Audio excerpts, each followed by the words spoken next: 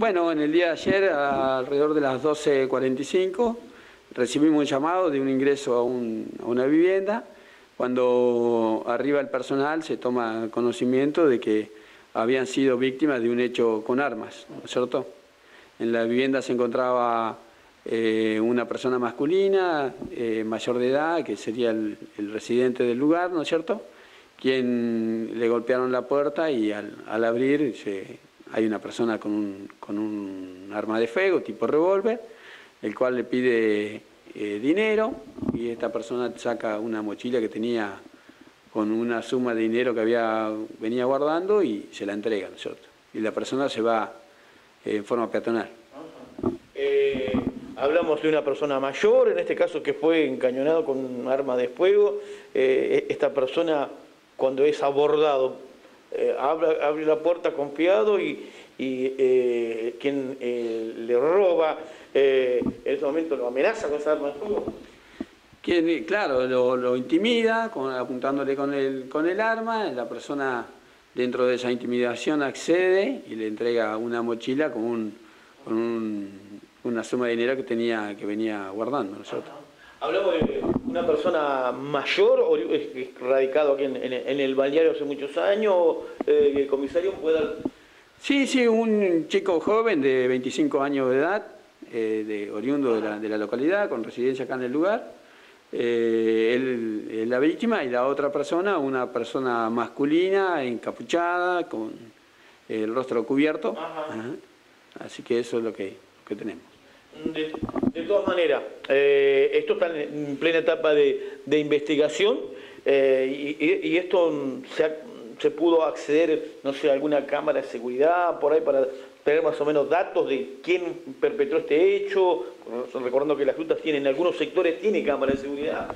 Sí, sí, inmediatamente se dio conocimiento a, todas las instituciones que, trabajamos en esto, juntos estamos eh, abordando el caso con la Brigada de Investigación y con Criminalística, con Canes, así que eh, se está haciendo, está llevando a cabo la investigación y se está, en marco de ello, sí, se están tratando de registrar cámaras que pudieran haber registrado a esta persona y, en búsqueda de alguna pesquisa, ¿no es cierto?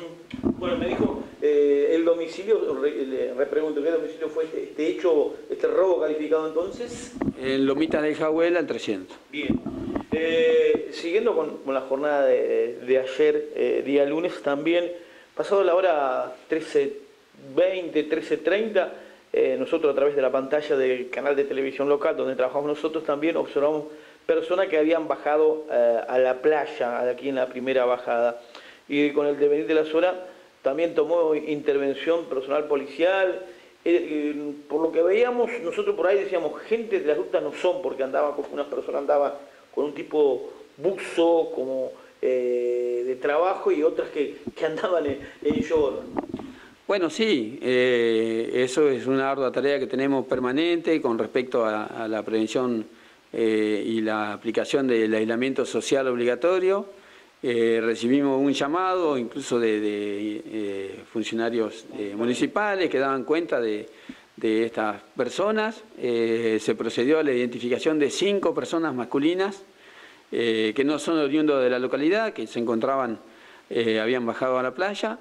Así que, bueno, como hacemos en estas cuestiones, se procedió a la intimación y se dio la intervención a los organismos que corresponden, ¿no es cierto?, para efectuar la, multa correspondiente o los trámites que si hubieran lugar. Eh, me dijo que son cinco personas que no son oriundas ni de San Antonio de las grutas y ahí entramos de vuelta a preguntar, el vecino va a decir, pero ¿cómo entraron? Estamos en cuarentena. Estas personas se encontraban circunstancialmente en San Antonio, han ingresado por un determinado lugar o venían por razones laborales al, a nuestro destino. Sí, estas personas eh, están en, la zona eh, por cuestiones laborales, ¿no es ah. cierto? Estaban efectuando eh, su desempeño laboral y bueno, eh, justo en el día de ayer no, no les tocaba trabajar, así que habían venido acá hasta las grutas y en ese contexto es que, bueno, bajan a la playa. Eh, y en este caso, si vamos a la, cuarentena como tiene que ser, se transgrede el, el DNU, así que se tuvo que, en este caso, notificarlo y queda notificado y denunciado a esta gente. Sí, tal cual, tal cual. Quedan intimados del, cumplimiento obligatorio del, aislamiento social. Eh, bueno, en estos casos, si de, persistir en conductas eh, infraccionarias, se procederá a su detención por eh, violación del artículo 205 y 239. Pero bueno, en principio fueron notificados que tienen la obligación de cumplir la cuarentena y se dieron parte a las autoridades municipales también quienes intervinieron para que estas personas pudieran eh, acceder, ¿no es cierto?, a su fuente laboral, ¿no es cierto? Pero bueno, ellos mismos son quienes eh, nos denuncian de esta, la presencia de estas personas en ese lugar, concurrimos y en conjunto se, abordan estos temas y se, se busca eh, que tengan el correctivo que le corresponde, ¿no es cierto? Bien, dos hechos de ayer estamos comentando, ¿no? Y estamos hablando también de hechos puntuales que han acontecido en el balneario que van trascendiendo. consultarle acerca, no sé si hubo una sustracción de un vehículo o ese vehículo lo, corrieron semana pasada, una camioneta también eh, aquí en, en Las Grustas. ¿Qué, qué, eh, me puede decir también de, ese vehículo? Nosotros, para nosotros dice que se robó un vehículo. ¿Qué me puede confirmar Con respecto, eh, no hubo una sustracción de un vehículo, sino lo que hubo, sacaron una llave del interior de un vehículo y al parecer habrían sacado el freno en mano el vehículo y el vehículo se desplazó del lugar. Así que eso es lo, que tenemos. Esta, esta, persona es oriunda también de acá del bañario o reside acá hace mucho tiempo y el vehículo, tengo entendido que una camioneta, era una S10 puede ser, o pero la, eh, eh, el policial, la policía cuando llega se encuentra que el vehículo habían robado algo o lo corrieron del lugar. Eh, del interior, ya te digo, habían sacado una llave, es una Chevrolet, esto fue en la calle Mamel Choy, que al 550, ¿no es cierto? Eh, pero bueno, eh, al parecer lo que se efectuó fue aflojar el freno mano y eso hizo que se deslizara el vehículo, ¿no es cierto?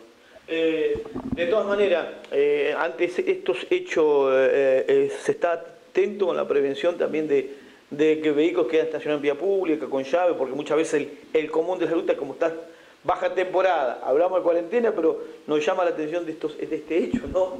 Sí, tal cual. Eh, nosotros estamos eh, trabajando en la prevención junto con la jefatura de zona, que nos refuerza a veces con, personal de Brigada Rural o de CANES o de otras instituciones.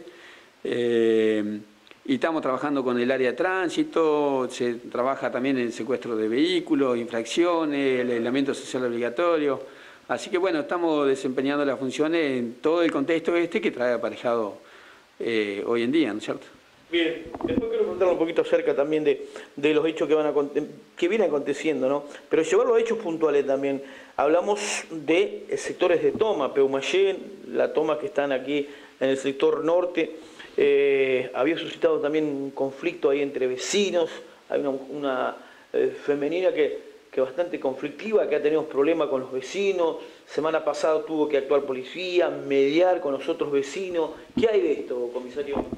Sí, bueno, una noche fuimos convocados ahí al barrio eh, en, la, toma, conocido, la toma 1, en donde habían algunas mujeres, ¿no es cierto?, madres de, de residentes en el lugar, eh, que manifestaban eh, inconvenientes con una vecina en particular, ¿no es cierto? Eh, con ella, que, quien reside con, sus chicos ahí en el lugar, que hace tiempo que está, del invierno pasado. Así que, bueno, atendiendo al caso, se dio intervención a las autoridades correspondientes, porque esta señora está con seguimiento de CENAF, ¿no es cierto?, con el tema de los chicos.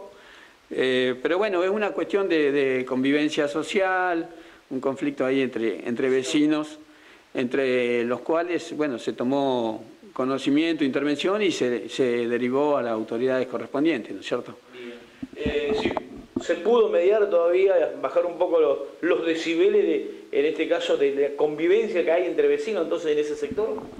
Sí, tal cual, todo dentro del marco del aislamiento social, ¿no es cierto? Así que dentro de ello trataba de mantener la paz social y el orden público, ¿no es cierto? Eh, dando cuenta de tratando de evitar todo este tipo de incidentes, se, logró mediar y se, bueno, se está con presencia policial ahí en, en la zona.